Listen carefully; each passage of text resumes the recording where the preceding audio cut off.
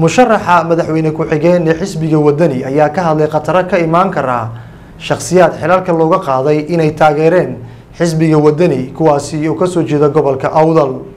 Faysal maxamed aadan fifa ayaa warkan mar kale ka soo diray magaalada hargeysa diblomaasi sare doctor maxamed cali ow cabdi musharaxii jegada madaxweyne ku-xigeen ee xisbiga mucaaradka wadani doorashadii saddex iyo tobankii noofembar ka qarsoontay gudaha somalilan. Oo waraysi gaara siiyey telefishinka somaali cable ayaa si adag uga deeriyey mas'uuliyiin u tilmaamay in xilal kala duwan gobolka awdal xukuumadda uga hayeen oo xilligan xilalkii laga caydhiyey iyadoo loo aanaynayo waa sida hadalkiisa u dhigay inay si weyn u taageereen. Xilligii ololaha iyo sidoo kale codayntiiba xisbiga mucaaradka wadani iyo musharaxiintii u tartamayey oo isagu qayb ka ahaa. Waxaanu ku godiyin cawaaqib xumo weyn. Ay xukuumaddu ay ka dhexli doonto haddiiba ay sidaa ku sii socdaan. Marka hore waxaan salaamayaa dhammaan shicibka dadweynaha somalilan meel kastay joogaan badal iyo dibadba. Asalaamu calaykum waraxmatullahi wabarakaatu waxaan rabaa inaan arrin yaroo aan ka hadlo fariin aan u diro guud ahaan shicibka xukuumadda somalilan ee hadda sii tegaysa iyo ta soo socotaba iyo shicibka somalilan doorashaa dalku galay bishii noofembar ee aan soo dhaafnay saddexiyo tobankeedii. Inkastoo madmadow badani ku xeernaa haddana natiijadii waxay noqotay in kulmiya la idhaaho aan u dayno xisbiyada kale oo la idhaaho bal shanta sannadood dalka soo socda iyadoo dadka iyo dalkaba loo turayo bala hogaamiyaan. Doorashada qof kasta oo somalilan xaq buu leeyahay inuu codeeyo cidduu rabo xisbiguu rabo. Kii kulmiya u codeeyey kii wadani u codeeyey kii u codeeyey kii aan codayninba xaq bay u leeyihiin. Doorashadii way dhammaatay. Hadday dhammaatay xukuumadda kulmiye ee hadda sii tegaysaa ma aha inay dadka qaar tidhaahdo waxaan tuhunsannahay ama deegaankaasiba ama shakhsiyaadkaasiba waxay u codeeyeen xisbiyadii kale gaar ahaan waddani.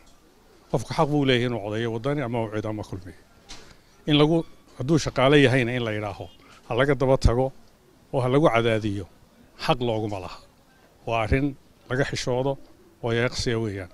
Gobolka awdal wiigana soo aan ku jirno horaantiisii iyo wiigii hore dabayaaqadiisii waxaa ka dhacday arrin aan waafaqsanayn sharciga doorashada iyo dimuqraadiyadda toona.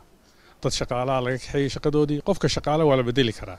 Laakiin in dad gaara uun la baltirmaadsado oo la yidhaaho xisbiyadaas xisbigaasi weliba xisbiga wadanibay ayaanu ku tuunsanay inay codeeyeen. Waxaaba laga yaaba inay weliba qaar iyaga u codeeyeen taasi ma aha arrin meesha taalla ma aha madaxda iyo siyaasiyiinta gaar ahaan kuwa ka soo jeeda gobolka awdal waxaan leenahay waxa fiican in laga shaqeeyo isku xidhnaanshaha iyo wadajirka iyo wada noolaanshaha dadka.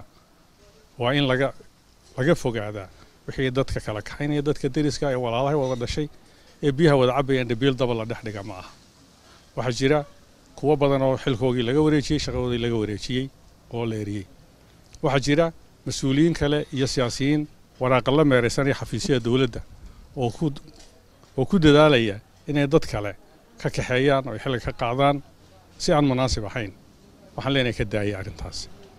Hadday hadda idinla qurux badan tahay oo idinla fiican tahay oo aad doosha ka qoslasaan waxay noqon doontaa arrin qadhaadh oo keenta qosol gariir haddii aan laga fogaanin xukuumadda sii socota ee kulmiye kulmiyaa kulmiye kala wareegaya doorashada dabadeed xukuumadda sii socota ee kulmiye. Haraatiyeedii waan aragnaa qaskeegana waan aragnaa dadweynaha somalilan gaar ahaan gobolka awdal waxaan leenahay samra waxaan sugaynaa xukuumadda soo socota ee kulmiye. Iyagaa sixi doona oon ka suganaa inay saxaan qaladaadka hadda dhacay. Iyagaan ka suganaa laakiin intaa ha la adkaysto. Waxaan leenahay ha laga waantoobo. Wixii dadka iska horkeenaya nabadgelyada waxay ku xidhan tahay in cid kastiba ilaaliso. Maaha cid gaari inay ilaaliso waxaa wuxuu yidhi bal haddii la kala dido dadayay u daran tahay cid walba way u darnaani ha laga fogaado ha laga foojignaado. Dadka wixii isku keenaya ha laga shaqeeyo wixii kala kaxaynayana ha laga dadaalo. Fariinta waxaan dirayaa dadka xukuumadda sii socota ku jira iyo kuwa iman doonaba. Dadweynaha waxaan leenahay nabadgelyada ugu horta ugu horreysa ha la ilaaliyo. Wixii laakiin dhaafsan ee qofka xaqiisa ku xadguduba waa laga wada hadli waa la iskaga imani waan laga wada tashani gaar ahaan gobollada awliyeeda salal adkaysta haddii ay wax qasii jiraan oo xukuumadda sii socota haraatideeda waa iska adkaysanana waa maalmo. Iska tegaysaa. Kuwa soo socdana waxaan sugaynaa inay saxaan qaladaadkaasi kuwa joogaana waxaan leenahay war taariikhda iyadaas qorase buuggiina siyaasadeed hagaajista oo ha iska madoobaynina mar aan wax ka weydiinay cidda ay u toonsayin in arrimahan ka dambeeyeen waxa uu ku jawaabay sidan. Waa shakhsiyaadii ciddii loo tuhmaya adaa iska soo bixi doonta laakiin imika waxaan leenahay hebel iyo hebel ma jirta way isgaranayaan kulleyto intaydaan warbaahinta u soo bandhigin iyaga ma isku dayda inaad kala xaajootaan isla markaana kala hadashaan arrintan baahi loo qaban jirin in laga xaajo waa mas'uul waa isagu inuu garto weeye oo faysal maxamed aadan faysal fifa tv-ga caalamiga ee somaali cable magaalada hargeysa